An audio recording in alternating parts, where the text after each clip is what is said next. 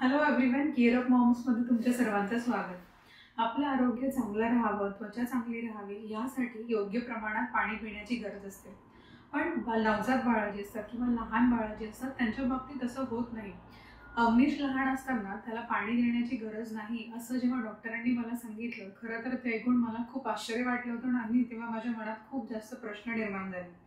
जसं आता आपल्या शरीराला पाण्याची रिक्वायरमेंट असते तसं मग मला लहान बाळांना नसते का? किंवा बाळाला आपण कधीपासून पाणी देऊ शकतो? बाळाला पाणी द्यायचं नाही असं असलं तरी पण जर बाळाला पाण्याची कमतरता होत आहे हे आपण कसं ओळखलं पाहिजे? असे बरेच प्रश्न जे आहेत ते माझ्या मनात निर्माण झाले होते. स्पेशली जेव्हा उन्हाळ्याचे दिवस असतात तेव्हा बाहेरचं वातावरण खूप गरम असतं. अशा वेळी लहान बाळांना जे आहे ते जास्तीत जास्त वेळ फीड डिमांड करत असतात. आणि मग बऱ्याच पेरेंट्सला असं वाटतं का बाहेर उष्णता जास्त आहे बाहेर गरमी जास्त आहे त्यामुळे बाळाला तहान लागत असेल. पण बाळांच्या बाबतीत जे आहे ते असं होत नाही. बाळाच्या शरीराला जी पाण्याची रिक्वायरमेंट असते ती दुधातूनच आईच्या दुधातूनच किंवा फॉर्म्युला मिल्कमधूनच जे आहे ती पूर्ण होत असते. म्हणून बाळाला उन्हाळ्याच्या दिवसात किंवा जेव्हा आपल्याला वाटत असेल की बाळाला पाण्याची रिक्वायरमेंट आहे तशा वेळी जास्तीत जास्त वेळ जे आहे ते फीड केलं पाहिजे. पण एक्स्ट्रा वरून जे आहे ते पाणी देण्याचे बाळाला सहा महिन्यापर्यंत तरी गरज नसते. तर ह्या सगळ्या प्रश्नांची जेव्हा उत्तरं देताना जे आहेत मला डॉक्टरांनी काही गोष्टी समजवल्या होत्या. तुम्हाला देखील जर हे प्रश्न पडत असतील असेच काही प्रश्न पडत असतील तर हा व्हिडिओ फक्त तुमच्यासाठी आहे. बाळाला पाणी कधीपासून द्यावं किती प्रमाणात द्यावं हा प्रश्न जे आहे ते बऱ्याच पालकांना पडतो. पाण्याची आपल्या शरीराला जशी रिक्वायरमेंट असते ही वया वयामानानुसार जी आहे ती बदलत राहते. जसं आपण मोठी माणसं असतो त्यांच्या शरीराला जी आहे ती विशिष्ट प्रमाणात पाण्याची आवश्यकता असते. बाळाच्या बाबतीत असं होत नाही. कारण बाळाची डायजेस्टिव्ह सिस्टम जी आहे ती खूप सुरुवातीला खूप वीक असते. आणि बाळाला सुरुवातीला आईचं दूध सुद्धा जे आहे ते पचवण्यात खूप एफर्ट्स घ्यावे लागतात. आणि जेव्हा आईच्या दुधातूनच जे आहे ते बाळाला आवश्यक जी न्यूट्रिएंट्स जे आहे ते मिळत असतात. आणि ज्यामुळे बाळाची इम्युन सिस्टीम जी आहे ती डेव्हलप होण्यात मदत होते. आता डिलिव्हरी नंतर लगेचच आईला जर दूध आलं नसेल तर अशा वेळी फॉर्म्युला मिल्क जे आहे ते आपण बाळाला देतो. आता जेव्हा फॉर्म्युला मिल्क मिल्क जेव्हा बाळाला देत असतात तेव्हा सुद्धा जे आहे ती त्याच्यात फॉर्म्युला मिल्क बनवण्यासाठी जे आहे ते योग्य प्रमाणात पाणी वापरलं जातो आणि त्या पाण्यातूनच जी आहे ती बाळाला पाण्याची जी रिक्वायरमेंट आहे ती पूर्ण होत असते. आता फॉर्म्युला मिल्क विषयी पूर्ण माहिती असलेला सविस्तर माहिती असलेला व्हिडिओ आपल्या चॅनलवर अवेलेबल आहे. जर तुम्हाला आवश्यकता वाटत असेल तर तुम्ही तो व्हिडिओ चेक करू शकता. जेव्हा बाळाला आईचं दूध जे पचवायला खूप हलकं असतं ते देखील पचवण्याचे आहेत एफर्ट्स घ्यावे लागतात. आणि जर आपण बाळाला पाणी पचवण्याची क्षमता येण्यापूर्वीच जर आपण बाहेरचं पाणी जर बाळाला दिलं तर अशा वेळी बाळाला त्या पाण्याचा त्रास देखील होऊ शकतो. त्याचबरोबर जेव्हा सहा महिन्यांपेक्षा लहान बाळं असतील त्यांची भूक ही खूप छोटी असते. मग बाळाला दुधाऐवजी जर आपण पाणी वरचं दिलं तर बाळाची ही भूक जी आहे ती नुसतं पाण्यानेच भरली जाते आणि बाळाला अशा वेळी जे आहे ते योग्य प्रमाणात न्यूट्रिएंट्स मिळत नाही त्याचमुळे जे आहे ते बाळाची इम्युन सिस्टीम डेव्हलप होत नाही किंवा जर यो वजन जे आहे ते बाळाचं योग्य रीतीने वाढ वाढत नाही असे अनेक जे प्रॉब्लेम जे आहेत ते आपल्याला बघायला मिळतात. तर हे झालं पहिलं कारण की आपलं आपण जे आहे ते सहा महिन्यापर्यंत बाळाला पाणी देणं हे अवॉइड केलं पाहिजे. आता पहिली चार महिने जर बाळ ब्रेस्ट फिडिंग करत असेल आईचं दूध पित असेल तर बाळाला आवश्यक असणारी जी पाण्याची रिक्वायरमेंट आहे ही आईच्या दुधातून तर पूर्ण होतेच आहे. आईच्या दुधामध्ये जे आहे ते सेवन्टी पर्सेंट जे आहे ते पाणी असतं. त्यामुळे बाळाला आवश्यक असणारं जे पाणी आहे ते सगळं बा- बाळाला आईच्या दुधातूनच मिळत असतं. आणि त्याचमुळे बाळाला वरच्या दु- वरून जे आहे ते एक्स्ट्रा पाणी देण्याची गरज नसते. आता जर फॉर्म्युला मिल्कवर बाळ असेल तरी सुद्धा बाळाला वरून पाणी देण्याची गरज नसते. फॉर्म्युला मिल्क बनवताना सुद्धा जे आहे ते आपण पाण्याचंच जे क्वांटिटीमध्ये जे आहे ते पावडर मिक्स करून बाळाला देत असतो. आणि जर बाळाला फॉर्म्युला मिल्कमध्ये किती पाणी घ्याय किती पाणी घ्यायला पाहिजे हे प्रमाण देखील जे आहे ते फॉर्म्युला मिल्कचा जो पॅकेट असतो त्यावर व्यवस्थितरित्या दिलेलं असतं. आणि ते योग्य प्रमाण जे बाळाला पचवता येईल अशाच प्रमाणात ते बनवलेलं असतं. आता काही पालक जे आहे ते चार महिन्यानंतर बाळाला वरचं अन्न द्यायला सुरुवात करतात. शक्यतो सहा महिन्यापर्यंत वाढ बघायला पाहिजे. पण जेव्हा तुम्ही चार महिन्यापर्यंत चार महिन्यानंतर जेव्हा सुरू करत असाल तर अशा वेळी डॉक्टरांचा सल्ला हा नक्कीच घेतला पाहिजे. त्याचबरोबर जर बाळ सॉलिडसाठी रेडी असेल काही सायन्स असतात जर ते बाळ तुमचं सॉलिड रेडीनेसचे सायन्स देत असेल तरच तुम्ही बाळाला हे सॉलिड जे आहे किंवा वरचं अन्न जे आहे ते देऊ शकता. आता बाळाला पहिला आहार जो पहिला ठोस आहार असतो तो कधीपासून दिला पाहिजे? ह्याविषयी सुद्धा चॅनलवर एक व्हिडिओ अवेलेबल आहे. तो सुद्धा जो आहे तो तुम्ही चेक करू शकता. पण आयडियली जर आपण बघितलं तर सहा महिन्यापर्यंत फॉर्म्युला मिल्क किंवा ब्रेस्ट मिल्क हेच जे आहे ते बाळाला देणं योग्य असतं. आता आपण बघूया सहा महिन्यांपेक्षा मोठी बाळं जी असतात स्पेशली सहा महिने ते बारा महिने ह्या एजची जी बाळं असतात त्यांना किती पाणी आपण दिलं पाहिजे?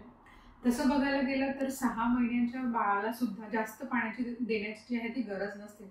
पण जेव्हा सहा महिन्यानंतर बाळाला आपण सॉलिड सुरू करतो तेव्हा थोड्या प्रमाणात जे आहे ते बाळाला पाणी देण्याची गरज असते. कारण बाळाचं जे वरचं सॉलिड जे बाळ घेतो आहे त्याचं डायजेशन रेग्युलेट करण्यासाठी थोड्याफार पाण्याची जी आहे ती गरज असते. एक सीप किंवा दोन सीप एवढी क्वांटिटी जी आहे ते बाळाला पुरेशी होते. आता बाळाला एक्झॅक्ट किती क्वांटिटी आपण दिली पाहिजे? म्हणजे थर्टी एम एल दिलं पाहिजे किंवा सिक्स्टी एम एल दिलं पाहिजे? अशी कुठलीही गाईडलाईन्स जी आहे ते बाळाच्या पाण्याच्या बाबतीत अशी कुठेही गाईडलाईन्स जी आहे ती नाही आहे पण डॉक्टर सजेस्ट करतात की जसं जसं बाळ हे बाळाचं वय वाढत आहे आणि बाळाचं सॉलिड इंटेक जो वाढतो त्यानुसार जे आहे ते पालकांनी आपण त्या प्रमाणात जे आहे ते बाळाला पाणी हे नेहमी द्यायला पाहिजे. त्यानंतर बऱ्याच पालकांचा प्रश्न असतो की बाळाला मग पाणी कसं द्यायचं? कसं म्हणजे फिल्टर्ड वॉटर द्यायचं किंवा नॉर्मल जे आपल्या नळाला पाणी येत आहे ते द्यायचं? हे सगळे जे प्रश्न असतात ते येतात. तर बाळाचा सोर्स म्हणजे पाण्याचा जो सोर्स आहे तो कुठलाही असला तरी बाळाचं जेव्हा जेव्हा आपण बाळाला पाणी देतो किंवा फिल्टर नसेल किंवा नॉर्मल नळाचं पाणी असेल तरी चालतं. पण जेव्हा पाणी आपण बाळाला देणार आहोत ते उकळलेलं असलं पाहिजे. पाणी उकळून घेतल्यामुळे त्या पाण्यात जे काही बॅक्टेरिया असतील तर ते नाहीसे होतात. आणि त्यामुळे त्या पाण्याला म्हणजे त्या पाण्यामुळे बाळाला कुठलाही त्रास जो आहे तो होत नाही. त्यामुळे जेव्हा बाळाला आपण पाणी देण्याचं सुरुवात करतो तेव्हा सुरुवातीला काही दिवस जे आहे म्हणजे पूर्ण वर्षभरापर्यंत जे आहे ते बाळाला बॉईल करून आणि मग थंड करून जे आहे ते पाणी बाळाला दिलं पाहिजे. बऱ्याचदा पाण्याचं टेम्परेचर कसं असावं हा देखील प्रश्न येतो. स्पेशली जर उन्हाळ्याचे दिवस असतील तर विचारला जातं की मग थंड पाणी आपण दिलं पाहिजे का? किंवा मग थंडीचे दिवस असतील तर मग थोडं कोमट पाणी किंवा गरम पाणी आपण बाळाला दिलं पाहिजे का? असे प्रश्न विचारला जातात. तर सीझन कुठलाही असला तरी बाळाला जे आहे ते नेहमी रूम टेम्परेचर असले रूम टेम्परेचरवर असलेलं पाणी जे आहे ते आपण देणं योग्य राहतं. सहा महिन्यानंतर सॉलिड सुरू कर जेव्हा आपण बाळाला करतो तेव्हा काही बाळांना कॉन्स्टिपेशन होतं. तर कॉन्स्टिपेशन जे आहे ते बाळाला एक तर अन्न व्यवस्थित पचवणं त्रास होतो आहे हे एक लक्षण आहे. किंवा बाळाला मग पाण्याची रिक्वायरमेंट जी आहे ती थोडी कमी पडते आहे असं आपण समजू शकतो. तर कॉन्स्टिपेशन बाळाला होणं म्हणजे फक्त बाळाला पाणीच कमी पडत आहे असं होत नाही. बाळाला जे आपण अन्न देतो आहे ते बाळाला प्रॉपरली डायजेस्ट करण्यात जे आहे ते बाळाला त्रास होत आहे.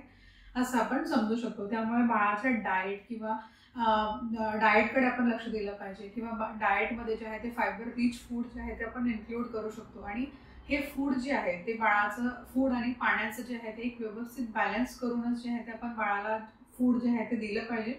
त्यामुळे बाळाचा कॉन्स्टिपेशनचा त्रास जो आहे तो भरपूर प्रमाणात कमी होतो. नंतर एक प्रश्न असतो की बाळाला पाणी आपण कशात दिलं पाहिजे? त्या पालकांना नेहमी घरात जर मोठी मंडळी असतील तर पालकांना नेहमी सांगितलं जातं की नेहमी चांदीचे भांडे हे बाळासाठी वापरले पाहिजेत. आता चांदीचे भांडे वापरणं हे योग्य पण आहे कारण ते अँटीबॅक्टेरियल प्रॉपर्टीज असतात. पण सहा महिन्यानंतर जे आहे ते बाळाला जर ग्लासमधून डायरेक्टली जर आपण पाणी दिलं तर चांदीचा ग्लास असेल तर त्यांना हे पाणी प्यायला डिफिकल्टी होते. त्याचं कारण असं की लहान मुलांचं असं छोटंसं तोंडामध्ये तो एवढा मोठा ग्लास जर गेला तर त्याच्यामुळे त्यांना पाणी पिण्यात त्रास होतो. मग गंगावर पाणी सांडणं किंवा मग नाकात पाणी जाणं तोंडात पाणी जाणं असं भरपूर प्रमाण प्रकार जे आहेत ते बाळाच्या बाबतीत होत असतात. मग बाळाला जे हे प्रॉब्लेम्स जे आहेत जेव्हा पाणी पिण्याचं जेव्हा जाणवतो तेव्हा मग बाळ पाणी पिण्याला सुद्धा जे आहे ते रिजेक्ट करू शकतात. तर अशा वेळी लहान बाळाला जे आहे ते पाणी देताना आता मार्केटमध्ये भरपूर प्रमाणात सिप्पी कप्स येतात. तर ते सिप्पी कप्स जे आहे ते वापरणं योग्य राहतं. बाळाला आवश्यक असेल तेवढं पाणी बाळ जे आहे ते पाणी पितं आणि नंतर जे आहे ते राहिलेलं पाणी तसंच बॉटलमध्ये आपण ठेवू शकतो. ह्यामुळे जे आहे ते बाळाच्या अंगावर किंवा नाका तोंडात पाणी जाण्याचं जे आहे ते भरपूर प्रमाणात अवॉइड केलं जातं. जर बाळ थोडं मोठं झाल्यानंतर जे आहे सात आठ महिन्यानंतर किंवा एका वर्षानंतर जे आहे ते स्पिल प्रूफ कप देखील येतात. ते तुम्ही वापरू शकता. आता ते कप जे आहे ते बाळ छान प्रकारे हातात पकडून जे आहे ते बाळ पाणी स्वतःहून जे आहे ते पाणी प्यायला शिकतं. आणि ते स्पिल प्रूफ असल्यामुळे जे आहे ते बाळाचं अंगावर सुद्धा जे आहे ते सांडत नाही. त्यामुळे जे आहे ते हे स्पिल प्रूफ कप जे आहे ते बाळासाठी पाणी पिण्यासाठी वापरणं फार योग्य आहे. स्पिल प्रूफ कप आहे किंवा सिप्पी कप्स आहे हे बरेच वेगवेगळ्या साईजमध्ये वेगवेगळ्या शेप्समध्ये आणि कलर्समध्ये मार्केटमध्ये अवेलेबल असतात. आणि खरं तर ह्या सिप्पी कपमधून किंवा स्पिल प्रूफ कपमधून पाणी प्यायला जे आहे ते बाळाला मजा सुद्धा येते. मी अमृतसाठी जे कुठले प्रोडक्ट्स वापरले आहेत त्या सगळ्यांची लिंक मी खाली डिस्क्रिप्शन बॉक्समध्ये देत आहे. आता बऱ्याचदा आपल्याला असं वाटतं की पाणीच तर आहे पाण्यामुळे बाळाला काय त्रास होऊ शकतो? तर जसं आपण आधी सुरुवातीला बघितलं की पाणी जसं मोठ्या व्यक्तींसाठीच्या शरीराला जे आहे ते विशिष्ट रिक्वायरमेंट असते पण तसं लहान बाळाच्या बाबतीत होत नाही. पाण्यामुळे बाळाची भूक देखील मरते आणि बाळाला पाण्यातून काही न्यूट्रिएंट्स पण मिळत नाही. त्यामुळे सहा महिन्यापर्यंत जे आहे ते आपण नेहमीच ट्राय करायला पाहिजे की बाळाला ब्रेस्टफीड देतो आहे नाहीतर फॉर्म्युला मिल्क जे आहे ते हे दोनच जे आहेत आपण दिलं गेलं पाहिजे. दुसरं म्हणजे पाणी जर आवश्यकतेपेक्षा जास्त बाळाला दिलं किंवा बाळाला जेव्हा पाणी जे जेवढं पाणी पि पचवण्याची क्षमता आहे त्यापेक्षा जर जास्त प्रमाणात जर आपण बाळाला पाणी दिलं तर त्याचा त्रास देखील जे आहे ते बाळाला होतो. जसं बाळाच्या शरीराला जे आहे ते शरीरात जे आहे ते बाळाच्या सोडियमची जी मात्रा आहे ती भरपूर प्रमाणात वाढते. आणि कधी कधी बाळाला ह्यामुळे डायरिया किंवा वॉमिटिंग असे सुद्धा त्रास जे आहे ते बाळाला जाणवू शकतात. सहा महिन्यानंतर सुद्धा बाळाला आवश्यक आहे तितकंच जे पाणी आहे ते आपण दिलं पाहिजे. म्हणजेच बाळा जेव्हा आपण सॉलिड सुरू करतो ते सॉलिडचं डायजेशन एक रेग्युलेट करण्यासाठी जेवढी पाण्याची आवश्यकता असते तेवढंच पाणी जे आहे ते आपण बाळाला दिलं पाहिजे. नऊ महिन्यापर्यंत जे आहे ते बाळाला फ्लुईडची रिक्वायरमेंट हे आपण इतर गोष्टीतून सुद्धा पूर्ण करू शकतो. जसं की फळं आहेत ज्याच्यामध्ये भरपूर प्रमाणात पाणी आहे असे फळं जे आहेत ते आपण बाळाला देऊ शकतो. जसं वॉटरमेलन झालं ॲपल झालं ऑरेंज झाले किंवा काही वेळा तुम्ही नारळ पाणी सुद्धा जे आहे ते बाळाला देऊ शकता. तर या व्हिडिओच्या शेवटी इतकंच सांगायचं आहे की बाळाला जेव्हा चांगल्या न्यूट्रिएंट्सची गरज असते किंवा बाळाला भूक लागलेली असते तर अशा वेळी आपण ही एक अपॉर्च्युनिटी समजली पाहिजे आणि त्या अपॉर्च्युनिटीचा एक फायदा घेत जे आहे ते बाळाला आपण न्यूट्रिशियस फूड जे आहे त्यातून बाळाला आवश्यक असणारे न्यूट्रिएंट्स मिळतील असं फूड जे आहे ते आपण दिलं पाहिजे. आणि ही अपॉर्च्युनिटी आपण मिस नाही केली पाहिजे. त्यामुळे जे आहे ते बाळाचं वजन जे आहे ते योग्य रीतीने सुद्धा वाढण्यात मदत होते. होप या व्हिडिओमधून आवश्यक असणारी माहिती तुम्हाला मिळाली असेल आणि या व्हिडिओचा तुम्हाला नक्कीच उपयोग होईल. ही माहिती इतरांबरोबर देखील शेअर करा जेणेकरून त्यांना सुद्धा या व्हिडिओची मदत होईल. आणि जाता जाता अजून सबस्क्राईब केलं नसेल तर व्हिडिओ खाली असलेल्या लाल बटन दाबून चॅनलला सबस्क्राईब नक्की करा आणि गिअरअप मॉम्सला जॉईन करा. पुन्हा भेटूया परत एका नवीन टॉपिक बरोबर. Till then bye bye